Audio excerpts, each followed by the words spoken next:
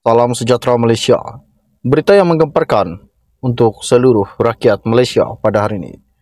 Di mana pada hari ini sempena Hari Angkatan Tentera Malaysia ATM yang ke-90 hari yang di-Pertuan Agong Al-Sultan Abdullah Riyadatuddin Al-Mustafa Wilas Shah mendoakan semoga ATM terus menjadi sebuah angkatan yang disegani dan dihormati di persada antarabangsa. Selaku pemerintah tertinggi ATM, Sri Paduka amat menyanjung tinggi dan merakamkan setinggi penghargaan atas jasa, khidmat bakti dan pengorbanan dicurahkan seluruh warga dan bekas anggota ATM dalam melindungi kedaulatan serta keselamatan negara.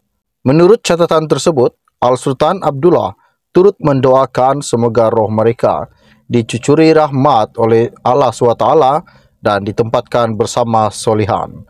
Hari ATM disambut setiap 16 September dengan tema sambutan pada tahun ini, Kedaulatan Negara Tanggungjawab Bersama. Sekian ringkas dari saya untuk Anda. Kita akan berjumpa lagi. Salam jumpa dan salam kenal. Bye-bye.